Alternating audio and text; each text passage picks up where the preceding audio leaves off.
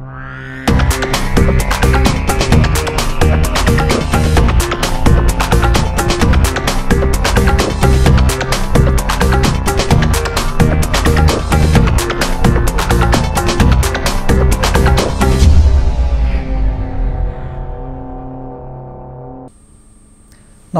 साप्ताहिक स्वास्थ्य गतिविधि कार्यक्रममा स्वागत छ। स्वास्थ्य तथा जनसङ्ख्या मन्त्रालय राष्ट्रिय स्वास्थ्य शिक्षा सूचना तथा सञ्चार केन्द्रको सहयोगमा नेपाल टेलिभिजनको निर्माण एवं प्रस्तुति रहेको यो कार्यक्रम यसै समय लिएर आउने गर्दछौँ। यस कार्यक्रममा हामीले स्वास्थ्य मन्त्रालय र मातहतका निकायहरूको नियमित गतिविधिका साथै जनस्वास्थ्य सरकारका विषयहरू समावेश गर्दै आएका छौँ।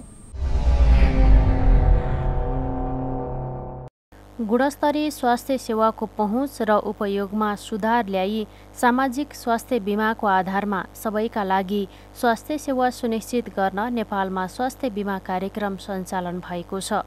सरकारी स्तरबाट सञ्चालन भइरहेको स्वास्थ्य बिमा उपचार गर्न नसक्ने गरिब तथा विपन्नले धेरै फाइदा लिइरहेका छन्। स्वास्थ्य उपचार नपाएरै मर्न पर्ने अवस्था सिर्जना नगराउन सुरु गरिएको बिमा कार्यक्रम सतहत्तरवटै जिल्लामा पुगिसकेको छ। हाल चार सय त्रिपन्न स्थानीय तह र चार सय पचपन्न स्वास्थ्य संस्थाबाट सेवा प्रवाह भइरहेको छ। यही वर्ष सात सय त्रिपन्न स्थानीय तहमा नै पुग्ने अवस्थामा रहेको पनि बिमा बोर्डले जनाएको छ। सन् दुई हजार बाइसभित्र शत प्रतिशत जनसङ्ख्याको स्वास्थ्य बिमा गराउने सरकारी लक्ष्य राखिएको थियो। तर अहिलेसम्म करिब सतहत्तर लाख एकचालिस हजार नेपाली नागरिकले मात्र बिमा गरेका छन्। तीमध्ये अडचालिस लाख सतासीभन्दा बढीले नियमित रूपमा सेवा लिइरहेको स्वास्थ्य बिमा बोर्डले जनाएको छ। स्वास्थ्य बिमा बोर्डका अनुसार यस वर्षदेखि नै सङ्गठित क्षेत्रका व्यक्तिहरूलाई राष्ट्र सेवकहरू भनेर तोकिए बमोजिम योगदान रकम तिरेर अनिवार्य रूपमा स्वास्थ्य बिमामा आबद्ध हुनुपर्ने जनाइएको छ। बोर्डका अनुसार निजामती कर्मचारी शिक्षक सेना प्रहरी लगायत ठूलो सङ्ख्या अब ऐन तथा नियमावलीमा उल्लेखित व्यवस्था अनुरूप नै आबद्धता हुनुपर्ने बताइएको छ। सरकारी संस्थाको हकमा दस प्रतिशत विनितले आफै तिर्नुपर्ने हुन्छ भने यो दुई हजार एकासी वैशाखदेखि निजी र सामुदायिक अस्पतालहरूमा बिस प्रतिशत सहभुक्तानीको व्यवस्था गरेको छ। यसले अहिलेसम्म देखिएका अनावश्यक चेक जाँच गर्न जाने बिमितहरूले को सङ्ख्या बढेको र अन्य विभिन्न समसामयिक समस्याहरू देखिएको कारणले यसले चाहिँ त्यसलाई रोक्ने र आवश्यक परेको बिरामीहरू मात्रै संस्थामा उपचार सेवा लिन जाने जाने र यसको व्यवस्थापन चाहिँ राम्रोसँग हुनुभएको कारणले यसलाई अलिक प्रभावकारी व्यवस्थित र दिगो गरेर अगाडि लैजान सकिने अवस्था हुन्छ। स्वास्थ्य बिमा कार्यक्रममा बहिरङ्ग सेवा आकस्मिक सेवा अन्तरङ्ग सेवा निदानात्मक सेवा सूचीकृत औषधिहरू शल्यक्रिया र तोके बमोजिम मूल्यको चस्मा श्रवण यन्त्र सेतो छडी बैशाखी आदि सेवा पर्दछ। यो कार्यक्रम सबै नागरिकका लागि हो।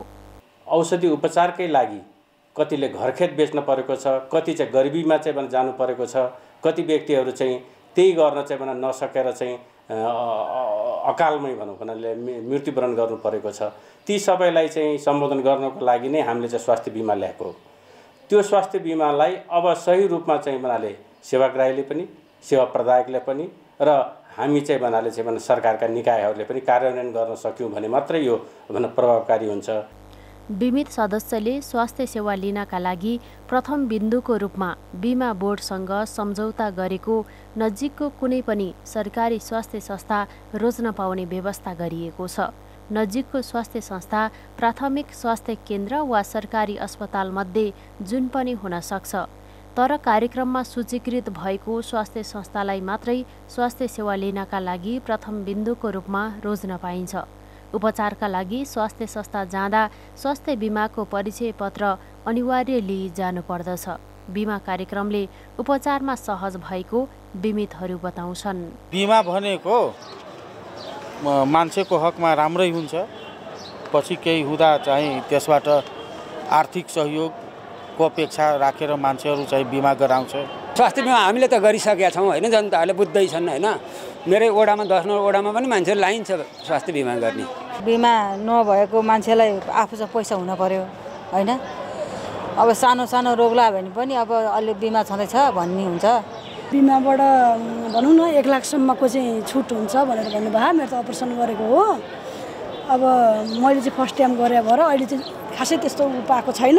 लक्षित वर्गलाई बिमा गर्दा छुटको पनि व्यवस्था रहेको छ। अति गरिब एचआइभी सङ्क्रमित कुष्ठरोगी एमडिआर टिभी अति अशक्त अपाङ्गता भएका परिवारलाई योगदान रकममा शत प्रतिशत छुटको व्यवस्था गरेको छ। महिला स्वास्थ्य स्वयंसेविकाको परिवारलाई योगदान रकममा पचास प्रतिशत र ज्येष्ठ नागरिकको हकमा पूर्ण छुटको व्यवस्था रहेको छ। त्यसैले बिमा मार्फत लाभ लिन सरकारवालाहरूले नागरिकलाई आग्रह गरेका छन्। गर्मी बढेसँगै विभिन्न सङ्क्रमणजन्य रोगको जोखिम बढ्न थालेको छ। गर्मीको समयमा औलो डेङ्गी कालाजार जन्डिस टाइफाइड झाडा पखाला हैजा लगायत रोगको जोखिम धेरै हुने गर्दछ।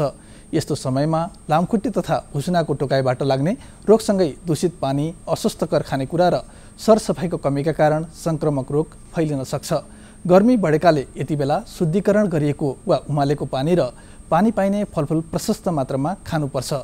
यस्तै औलो डेङ्गी कालाजार जस्ता रोगबाट बच्न पुरा बाहुला भएका कपडा लगाउन र लामखुट्टे तथा भुसुनालाई फगाउने खालका औषधिको प्रयोग गर्न र सुत्ने बेलामा झोल टाँगेर सुत्नुपर्छ। तपाईँ हाम्रो सानो सावधानीले पनि विभिन्न किसिमका सङ्क्रमक रोगबाट सजिलै बच्न सकिन्छ। जनस्वास्थ्य सम्बन्धी यिनै प्रसङ्गसँगै आजलाई भने कार्यक्रमबाट बिदा माग्ने बेला भएको छ। सबै सहकर्मी साथीसँगै म राजेन्द्र पोखरेल बिदा हुन्छु। नमस्कार।